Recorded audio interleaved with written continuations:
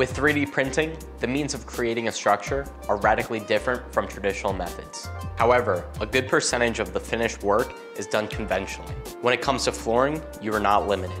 In fact, you can plan ahead to have radiant heat embedded in your floors and even your walls. Tile, hardwood, laminates, and other flooring installation remains the same for SQ4D's 3D printed structures.